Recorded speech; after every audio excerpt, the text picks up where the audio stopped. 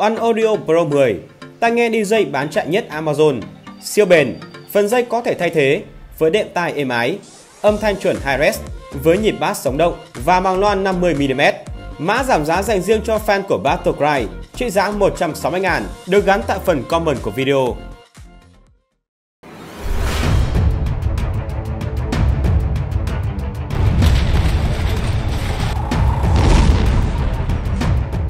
Chiến tranh, thứ đã đi theo con người từ buổi bình minh của văn minh nhân loại.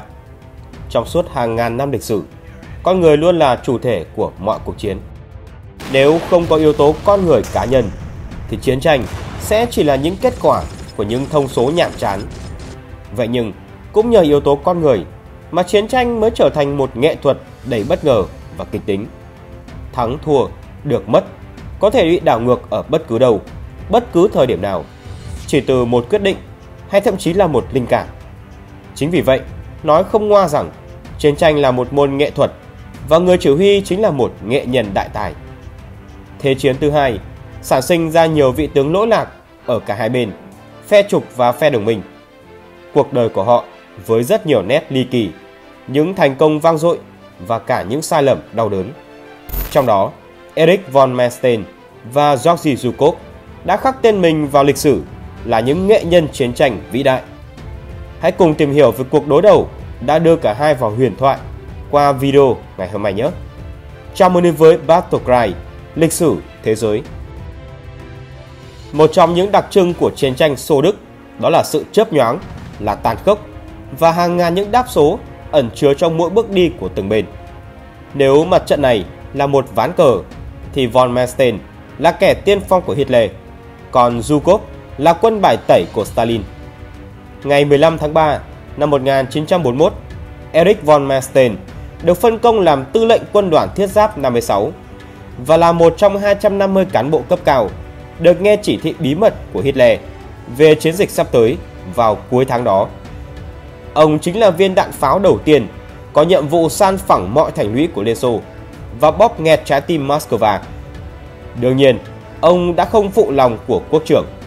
Trong vòng hơn 4 ngày, quân đoàn do Manstein chỉ huy đã thọc sâu vào lãnh thổ của Liên Xô tới 315 km, đập tan nhiều đợt phản kích dữ dội của Hồng quân, đẩy sức mạnh của chiến tranh chấp nhoáng lên một tầm cao mới. Lịch sử như đã sắp xếp để cả hai có cuộc đối đầu đầu tiên khi Hitler lệnh cho Manstein phải chinh phục được Crimea và Sevastopol thuộc quyền kiểm soát của phương diện quân Tây Nam đang do Zhukov chỉ huy. Do những sai lầm và chậm trễ của Stalin trước đó, Liên Xô đã phải chịu thiệt hại khủng khiếp trên cả ba mặt trận là mặt trận Bắc, mặt trận Trung tâm và mặt trận Nam. Zhukov đã cố gắng hết sức để chỉ đạo các hoạt động tác chiến và thu lại được một số kết quả. Ông thiết lập được tuyến phòng thủ nhiều lớp để làm chậm đáng kể bước tiến quân của cụm tập đoàn quân Nam của Đức. Trong khi phương diện quân Tây Bắc thì đại đang chịu những tổn thất lớn và phương diện quân Tây thì đã bị tổn thất đặc biệt nghiêm trọng. Vậy nhưng, Kiev và Sevastopol không phải trận thư hùng của hai bên. Dường như trong suốt cuộc chiến, Zhukov không phân tích các tướng trên chiến trường, mà ông phân tích cả quân đội Đức khi đó. Zhukov đã nhìn thấu toàn bộ cục diện của trận chiến, lại hiểu rõ tư tưởng quân sự của người Đức. Sau khi nghiên cứu sự bố trí lực lượng của quân Đức trên chiến trường, ông và các đồng sự kết luận rằng lực lượng thiết giáp của quân Đức đã bị tiêu hao trong các đợt tấn công vừa qua, nên mục tiêu khả dĩ trước mắt là các vị trí tương đối yếu của Hồng quân. Ông cho rằng quân Đức sẽ không đánh ngay vào thủ đô Moscow, mà sẽ nhằm vào phương diện quân trung tâm, để từ đó tập kích vào Hồng và cánh phải của phương diện quân Tây Nam đang trấn giữ Kiev. Sau đó, Zhukov đã đề xuất một kế hoạch táo bạo, đó là điều quân chấn thủ phía Tây Moscow tới tăng cường cho phương diện quân trung tâm, rồi rút phương diện quân Tây Nam khỏi Kiev, lui về phía tây sông Dnieper để tránh bị bao vây cô lập. Phương diện quân Tây sẽ tấn công vào chỗ lồi Genia để xóa sổ nguy cơ quân Đức dùng bàn đạp này đánh vào Moscow. Tuy nhiên, Stalin đã không chấp nhận việc rút khỏi Kiev. Đêm ngày 29 tháng 7, trong một cuộc tranh luận nảy lửa, Stalin đã gọi chủ trương bỏ Kiev để giữ quân đội của Zhukov là hồ đồ. Zhukov đã không hề ngồi yên, ông đã hét thẳng qua điện đài với Stalin. Nếu đồng chí nghĩ rằng với tư cách Tổng tham mưu trưởng, tôi chỉ có khả năng phát biểu những điều hồ đồ, thì tôi không còn gì để làm ở đây nữa. Tôi đề nghị hãy cho tôi được rút khỏi chức vụ Tổng tham mưu trưởng và được điều ra ngoài mặt trận. Ở đó, tôi cảm thấy mình sẽ có ích hơn cho Tổ quốc. Zhukov đã bị chuyển sang chỉ huy phương diện quân dự bị và kết quả sau đó đúng như những gì mà ông đã dự đoán. Trước sức mạnh như cuồng phong bão táp do von Mesten chỉ huy, Kiev và Sevastopol đã bị dìm trong biển máu. Trong khi đang chỉ huy phương diện quân dự bị, Zhukov vẫn cực kỳ trách nhiệm, nghiên cứu tình hình quân Đức và chú ý tới các mặt trận khác. Ngày 19 tháng 8 năm 1941, khi phát hiện tập đoàn quân xe tăng số 2 của Đức chuyển hướng tấn công xuống phía Nam vào Glukhov, Chernigov, Konotop và Lovisa, ông tiếp tục gửi cho Stalin một bức điện dự báo về việc quân Đức sẽ tập trung công kích sau lưng phương diện quân Tây Nam, tiêu diệt phương diện quân này để xóa bỏ nguy cơ cụm tập đoàn quân trung tâm bị đánh thọc sườn, từ đó sẽ tấn công Donbass. Các mục tiêu này hoàn thành thì đại bộ phận lực lượng thiết giáp sẽ lại tập trung vào hướng Moscow. Ông yêu cầu thành lập càng sớm càng tốt một cụm quân mạnh ở tuyến Glukhov, Chernigov, Konotop để ngăn chặn ý đồ bao vây phương diện quân Tây Nam của quân Đức. Một lần nữa, sự chậm chế của Stalin đã khiến cho vô số lính Liên Xô phải bỏ mạng. Thế nhưng thật may mắn, phương diện quân Tây Nam và phương diện quân dự bị đã không bị tiêu diệt. Chiến tranh là một môn nghệ thuật mang tính chớp nhoáng. Stalin và Hitler đương nhiên biết điều này. Vậy nhưng Stalin hơn Hitler một cái, đó là ông ta cuối cùng cũng đã biết lắng nghe. Sau những sai lầm đầu tiên, ông ta đã buộc phải cho phép Zhukov toàn quyền quyết định bản thân sẽ lùi về tuyến sau. Còn Hitler thì vì sự bảo thủ và kiêu ngạo của mình, ông ta đã vô tình biến quân bài mạnh nhất mình có phải chịu đi chậm hơn đối thủ. Sau chiến thắng vang dội tại Sevastopol, Hitler tín nhiệm Manstein làm chủ huy các binh đoàn Đức tại Leningrad, nơi đã bị vây hãm từ tháng 8 năm 1941. Ngày 27 tháng 8 năm 1942, Erich von Manstein đã tới mặt trận Leningrad, đem theo rất nhiều binh lực của tập đoàn quân số 11 vừa đánh trận Sevastopol. Do chưa đủ quân số để công chiếm thành phố, Manstein dự định sẽ triển khai chiến dịch ánh sáng phương Bắc, hòng triệt phá tuyến đường tiếp tế của Leningrad tại hồ Ladoga. Chậm hơn Manstein nửa tháng, ngày 19 tháng 4, Zhukov mới được quyền chỉ huy phương diện quân phía Bắc. Lúc này, Leningrad đang bị quân của Manstein vây chặt. Vậy nhưng, gọi Zhukov là quân bài tẩy là đều có lý do cả. Trong tuần đầu tiên, ông đã cùng Bộ Tư lệnh Phương diện quân tổ chức lại tuyến phòng ngự, ngăn chặn và đánh bại nhiều cuộc tấn công của quân đội Đức. Những sĩ quan chỉ huy kém cỏi cũng như những binh sĩ bỏ chạy khỏi trận tuyến đều bị xử tử hết. Zhukov ra lệnh bố trí những trận địa pháo mật độ cao, che chắn những hướng chủ yếu và giải mìn dày đặc ở những khu vực có nguy cơ cao. Đồng thời tăng cường hệ thống phòng không, đề phòng nguy cơ quân Đức nhảy dù. Ông còn hạ lệnh cho thủy quân của hạm đội Baltic bỏ chiến hạm lên bờ tác chiến, yêu cầu binh sĩ phải tận dụng mọi cơ hội, dù là nhỏ nhất, để tổ chức phản kích, liên tục quấy rối ở mọi nơi, ngăn cản quân Đức tập trung binh lực, tấn công mạnh vào thành phố. Sau đó, ông tập hợp một lực lượng gồm 5 vạn binh sĩ, mở một đợt tấn công dữ dội và các mũi tấn công vươn xa nhất của quân Đức và Leningrad. Được sự yểm hộ tích cực của pháo mặt đất và hải pháo, đợt tấn công này đã tước mất hơn một nửa binh lực tấn công của quân Đức tại khu vực đó. Và thật trùng hợp, ngày mà Zhukov phản công cũng là ngày mà Manstein đi thị sát chiến trường. Von Manstein bảo vệ, Georgy Zhukov phá vây, Zhukov phản công, Manstein đánh chặn.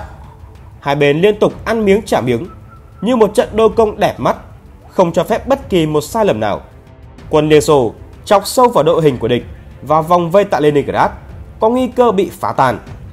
Trước tình thế nguy ngập, Manstein đã ra lệnh cho lính của ông phát động một cuộc phản kích. Sau hàng loạt các trận đánh dữ dội, von Manstein đã tổ chức một trận phản công lớn vào ngày 21 tháng 9 và trẻ tập đoàn quân Liên Xô ra làm đôi. Giao tranh kéo dài cho tới tận ngày mùng 10 tháng 10. Thường vòng ghê gớm của quân Đức đã buộc họ phải chuyển sang thế thủ và khai tử chiến dịch ánh sáng phương Bắc.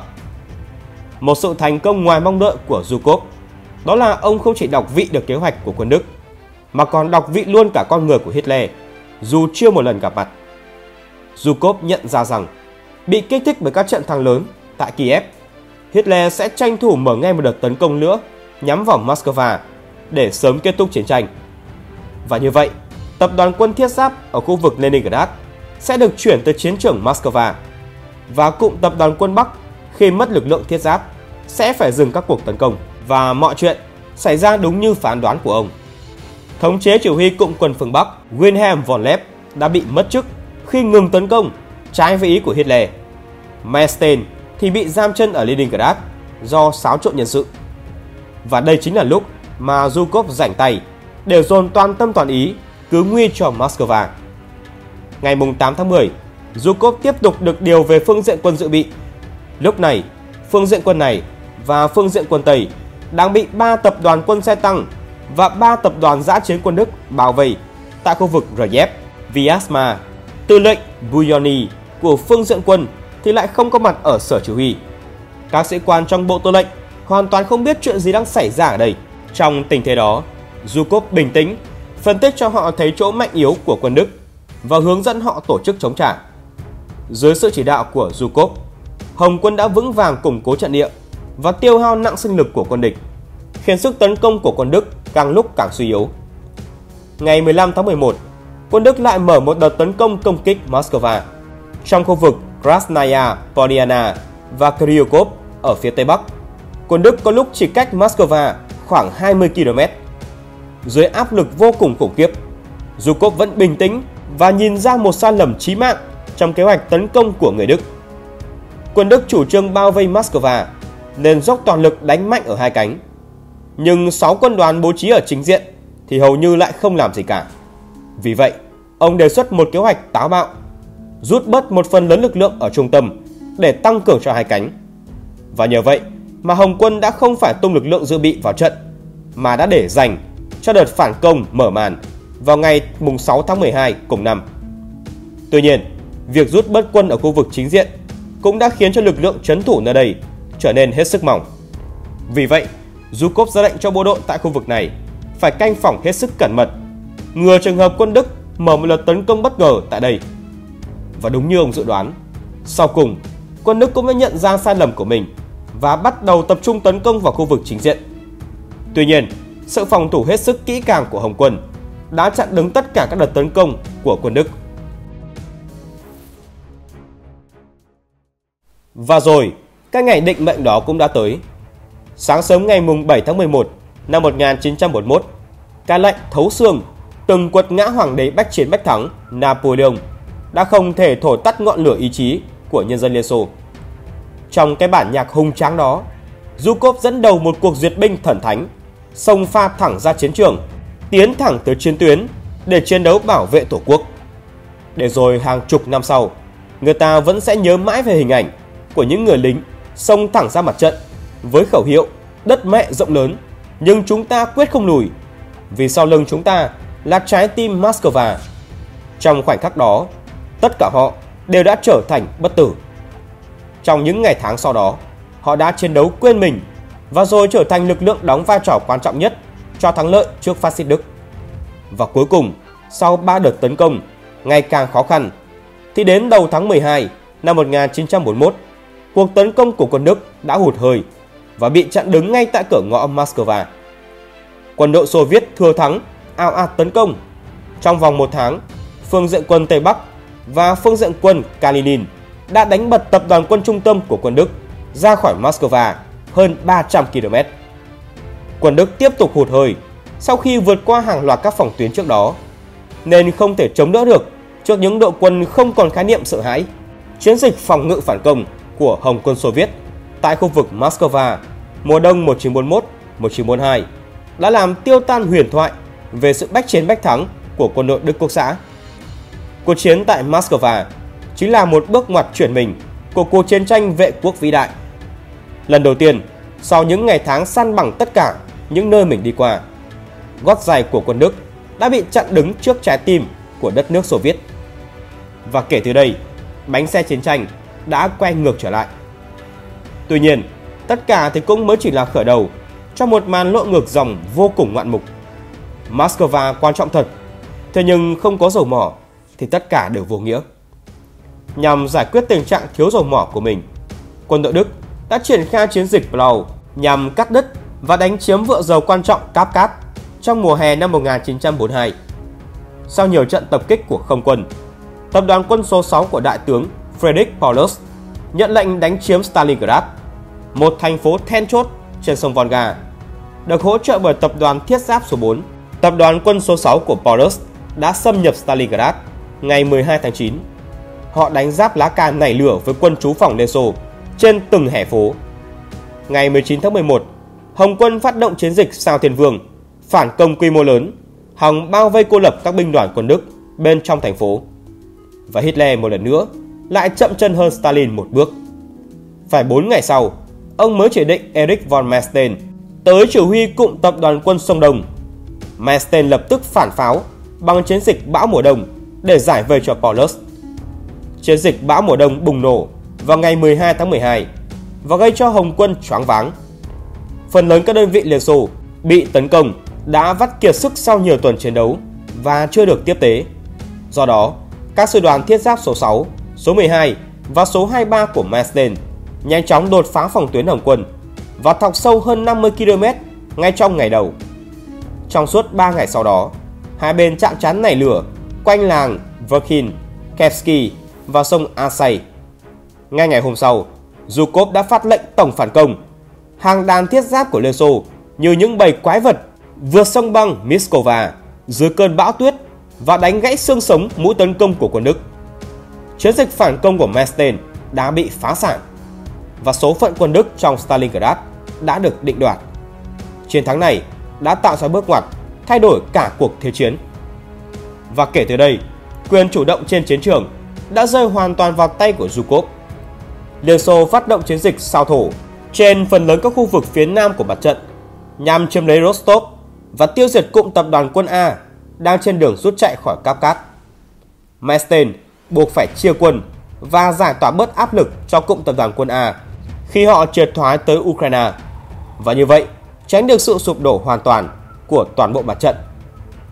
Cuộc tấn công của Hồng quân Liên Xô cũng ngăn không cho quân đoàn thiết giáp 158 liên kết với các đơn vị khác, bị cầm chân tại bờ sông Cher và chống chọi với các đợt tấn công liên tục. Quân đoàn thiết giáp 158 cuối cùng đã buộc phải rút lui khi tập đoàn quân số 8 của Ý ở hai cánh sườn đã bị quân Liên Xô đập nát. Thừa thắng tiến lên, Hồng quân Liên Xô mở hàng loạt các chiến dịch tấn công trong các tháng 1, tháng 2 năm 1943 nhằm đánh bại triệt để quân Đức và quân chư hầu ở miền Nam nước Nga sau khi tiêu diệt toàn quân nước Ý và Hungary trong chiến dịch Otrogos Rosso. Liên Xô thực hiện chiến dịch ngôi sao và chiến dịch bước nhảy vọt, hòng chiếm lại Kharkov, Kursk và cô lập các khối quân Đức trên hướng đông Donetsk. Hồng quân đã đánh thủng phòng tuyến của địch và uy hiếp toàn bộ mặt trận quân Đức ở phía Nam. Để loại trừ mối đe dọa này, cùng tập đoàn Sông Đông, cùng tập đoàn quân B và một số thành phần của cụm tập đoàn quân A được gộp thành cụm tập đoàn quân Nam do chính von Mesten thống lĩnh vào đầu tháng 2. Sau khi phía Nam tạm yên, Zhukov lập tức ngoặt hướng lên Leningrad, đang giang dở. Không còn sự chỉ huy của von Mesten, những kẻ khác đơn giản không phải đối thủ của Zhukov. Tiếng đại bác dưới chân thành Leningrad vẫn còn nổ và Zhukov lại từ đó để tham gia chỉ huy mặt trận này. Ông cùng với Vorosilov phối hợp hành động của các phương diện quân Leningrad, phương diện quân Volkhov và hạm đội Baltic trong chiến dịch tia lửa phá vây cho thành phố này sau hơn 800 ngày bị vây hãm vô cùng khủng khiếp. Ngày 17 tháng 3, Zhukov chỉ đạo tác chiến tại phía nam Kursk và gấp rút thành lập phương diện quân Voronezh do tướng Vatutin chỉ huy để đối phó với cuộc phản công mùa xuân của cụm tập đoàn quân sông Đông do chính thống chế von Manstein chỉ huy vào khu vực Belgorod và Kharkov. Theo lệnh của Zhukov, phương diện quân Voronezh đã nhận được từ lực lượng dự bị các tập đoàn quân bộ binh số 21, 64 và tập đoàn quân xe tăng số 1. Dưới sự chỉ huy của ông, phương diện quân Voronezh đã chặn đứng được cuộc phản công của quân Đức tại khu vực phía Bắc Kharkov, mà sau này trở thành mặt chính diện phía Nam của vòng cung Kursk kinh điển, trận đấu tăng lớn nhất trong lịch sử nhân loại.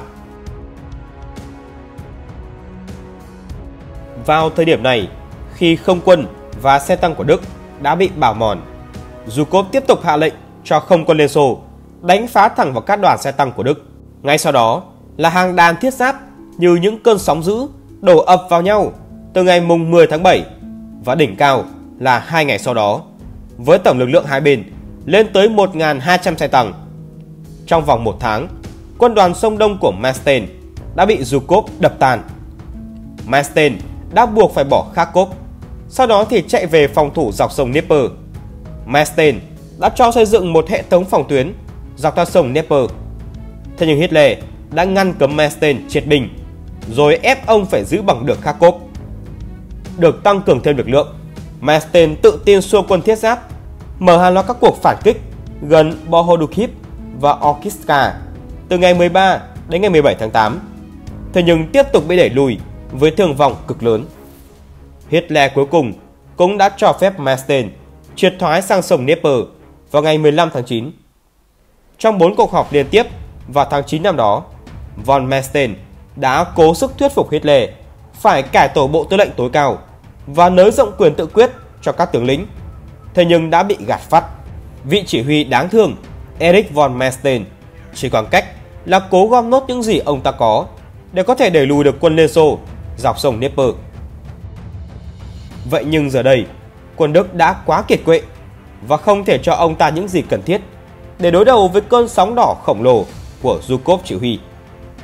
Từ ngày 12 tháng 10 đến ngày 23 tháng 12 năm 1943, phương diện quân Voronezh đã mở cuộc tấn công lớn vào Kiev. Thế nhưng, đây chỉ là đòn gió mà thôi. Từ ngày 25 tháng 10 đến ngày mùng 3 tháng 11, Zhukov đã ra lệnh dừng cuộc công kích tại Bukrin và bí mật điều tập đoàn quân xe tăng cận vệ số 3, tập đoàn quân cận vệ số 7 giáng đòn chí tử vào phía bắc của Kiev. Buộc quân Đức phải bỏ Kiev để tránh nguy cơ bị hợp vây. Sau chiến thắng vang dội tại Kiev, tập đoàn quân xe tăng số 3 nhanh chóng quét sạch quân Đức khỏi ba thành phố lớn là Kronstein, Zhytomyr và Fastov. Manstein liên tục xin Hitler hãy tăng viện binh, thế nhưng ông ta lại bị từ chối. Và trong cuộc yết kiến trực tiếp Hitler ngày 4 tháng 11 năm 1944, Manstein thưa rằng phòng tuyến Dnieper không thể trụ lâu và quân Đức thì cần rút lui để bảo toàn lực lượng. Đồng thời, ông ta một lần nữa đề nghị Hitler hãy thay đổi cơ cấu chỉ huy tối cao, hòng mở rộng quyền tự quyết điều hành tác chiến cho các tướng lĩnh. Thế nhưng cả hai đề xuất này tiếp tục bị gạt phắt vì Hitler luôn tin rằng mình đủ sức, một mình có thể điều khiển được chiến lược tổng thể của quân Đức trong toàn cuộc chiến tranh. Và quyết định này đã bóp chết mọi nỗ lực mà Mesten cố gắng thực hiện. Trước thế tấn công ồ ạt của Hồng quân Xô Viết, tàn binh của cụm tập đoàn quân Nam đã phải rút sâu về phía Tây vào tháng 1 năm 1944. Không cần đợi sự cho phép của Hitler, Manstein đã phát lệnh cho các quân đoàn số 11 và quân đoàn số 42 mở đường máu thoát khỏi vòng vây ở Korsun và Chekasi trong đêm ngày 16-17 tháng 2 và một nhúm quân Đức đã sổng khỏi nồi hơi Korsun nhưng đổi lại là 6 sư đoàn quân Manstein đã bị tiêu diệt hoàn toàn. Bước sang đầu tháng 3, quân đội Liên Xô đã hất cảng quân Đức ra xa khỏi sông Dnieper. Ngày 19 tháng 3, Hitler ra chỉ thị yêu cầu kể từ lúc đó trở đi, quân tướng phải bám giữ mọi cứ điểm cho tới người cuối cùng. Sau khi Hồng quân hình thành thế bao vây tập đoàn thiết giáp số 1 vào ngày 21 tháng 3, von Mesten vội bay tới tổng hành dinh của Hitler ở Lvov để thuyết phục ông ta thay đổi quyết định. Và Hitler cuối cùng cũng phải chấp nhận rút lui. Nhưng chính ngày sau đó, đổi lại, Manstein đã bị cách chức. Ông đã lui về tư gia ở Lenin và không bao giờ được trọng dụng nữa. Cuộc đối đầu của hai nghệ nhân chiến tranh cũng kết thúc từ giờ phút này. Đại kết cục cuối cùng lúc đó là cảnh Hồng quân Liên Xô được Zhukov chỉ huy đã tiến thẳng vào Berlin. Ván cờ đã ngã ngũ hoàn toàn vào ngày 30 tháng 4 năm 1945 khi lá cờ Liên Xô, tung bay trên nóc tòa nhà quốc hội của nước Đức.